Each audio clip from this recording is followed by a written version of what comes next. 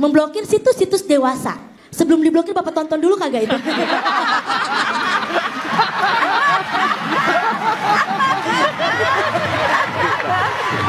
Ya, Kiki Pak. punya juga pesan dan kesannya terhadap para menteri. Kiki.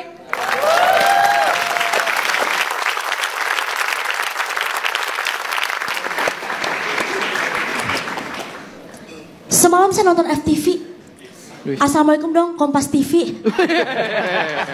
Jawab, wawe wawe aja. Waalaikumsalam. Aduh ya Allah, saya senang banget bisa hadir di sini bertemu dengan orang-orang hebat. Bu Rosi, saya ngefans banget sama Bu Rosi. Dari kecil saya nonton Bu Rosi mulu di TV. Waktu balapan motor. Benar bukan sih? Benar kan? Iya kan? Valentino Rossi Silalahi. bukan. Aduh, bener saya deg-degan banget ini. Karena bisa langsung bertatap muka dengan menteri-menteri kebanggaan Indonesia, teman-teman. Aduh, ada Ibu Susi Pujastuti, Menteri Kelautan dan Perikanan. Ada Bapak Rudiantara, Menteri Komunikasi dan Informatika. Ibu Retno, kembaran saya. Ngarep. Menteri Luar Negeri. Dan Bapak... Maaf, di sini Bapak nemenin siapa ya Pak? Ah, Siap. Enggak Pak, bercanda Pak, komedi. Kalau nggak lucu nggak dibayar Bu Rosi Pak. Ah, saya tahu betul Bapak Hanif Dakiri ya kan? Saudaranya Dakanan. Ntar kalau Nah. itu. Nah, Bapak Hanif Dakiri ini keren banget. Karena beliau adalah Menteri Ketenaga Kerjaan. Dan juga sekarang merangkap sebagai Menteri Sementara Pemuda dan Olahraga. Bapak nggak nggak mau nambah satu lagi pak, biar jabatannya hat trick gitu. Abis itu selebrasi dah. Handphone siapa tadi itu?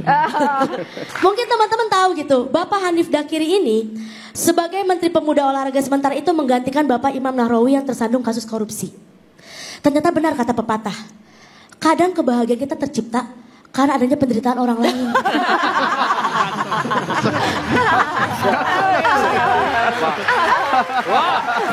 Berat. Tapi tadi teman-teman lihat ya, Pak Hanif ini sobat ambiar di Kempot. Oke, nyanyi bareng Pak. Apa? Cendol dawet seger cendol Iya. cendol cendol cendol cendol ting tang ting ting tang.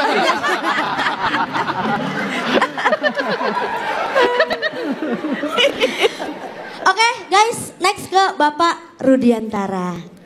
Seorang Menteri Komunikasi dan juga Informatika yang mungkin salah satu tugas kecilnya adalah mengatur tentang sinyal, provider dan juga data internet. Jadi kalau kalian selama ini merasa kuota internet kalian cepat habis, internet kalian lemot, salahkan aja bapak ini.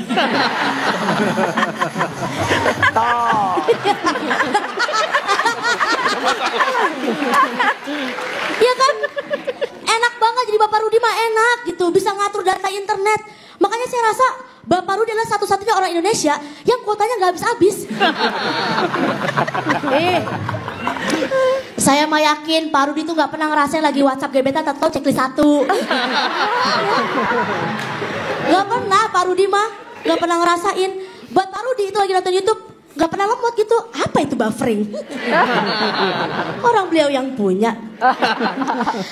Tapi ada satu juga tugas dari seorang Menkominfo yaitu adalah memblokir status eh status memblokir situs-situs dewasa. Tahu ya? Ada yang pakai VPN di sini? Proxy, proxy. Tugas Bapak Rudi adalah memblokir situs-situs dewasa agar tidak bisa ditonton oleh kita semua. Tapi Bapak mohon maaf, sebelum diblokir Bapak tonton dulu kagak itu?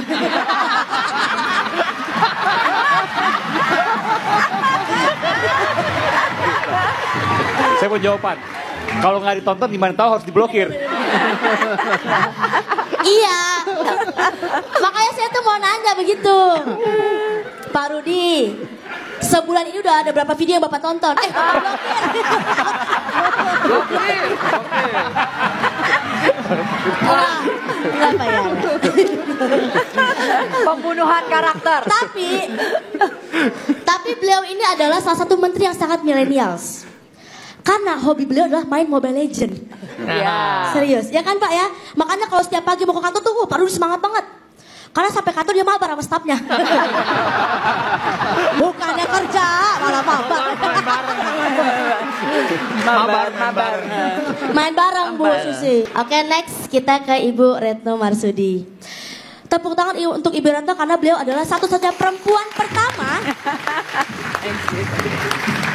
perempuan pertama yang berhasil menduduki jabatan sebagai Menteri Luar Negeri Indonesia. Dan saya akan jadi yang kedua.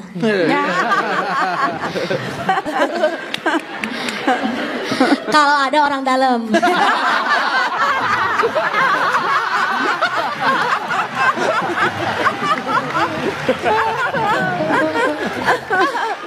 Guys, tapi kalian tahu nggak sih? Saya pernah baca artikel yang mencengangkan buat saya. Nomor tiga bikin geleng-geleng.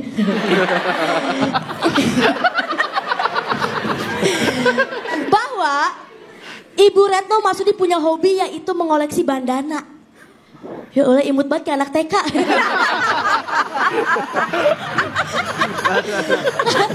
iya bu, di artikel itu ada bener.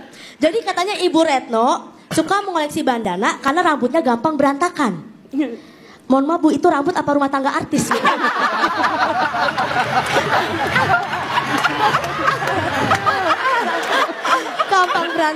Berantakan.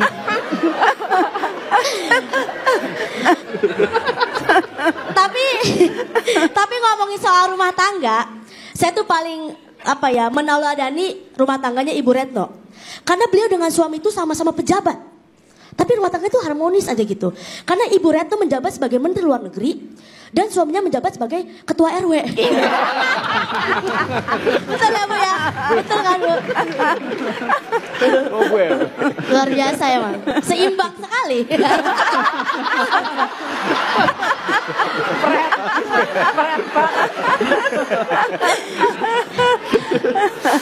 Oke guys, kita ke raja terakhir. Ibu Susi Pujiastuti. Awas, hati-hati. Hati-hati. Luar biasa. Menteri yang gaul, nyentrik, tidak kaku. Tepuk tangan lu buat beliau. Jelas. Fakta pertama. Ibu Susi dipilih oleh Pak Jokowi sebagai menteri dengan alasan yang sangat out of the box. Incredible. gitu, biar keren aja gitu depan Bu Susi. Emang Bu Susi doang bisa ngomong bahasa Inggris. Jadi saya saya baca artikel gitu.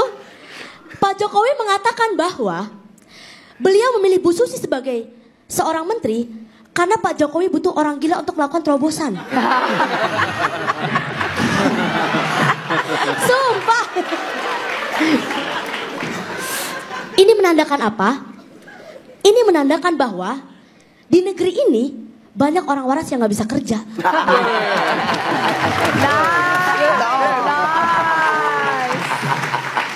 Ayo jadi orang gila. Dan yang keren dari Bu Susi adalah beliau ini mengabdikan dirinya berpuluh-puluh tahun untuk memajukan komoditas hasil laut terutama dari daerah kelahiran di Pangandaran. Dan seluruh nelayan di Pangandaran itu menyebut Bu Susi sebagai putri laut. Oke. Putri laut dari Pangandaran, pantai selatan Jawa Barat. Apa maksudnya? Mohon maaf Ibu.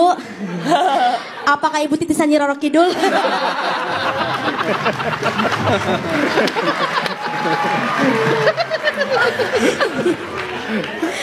Pantesan aja berani nenggelamin kapal ya kan? di bawah dia punya istana.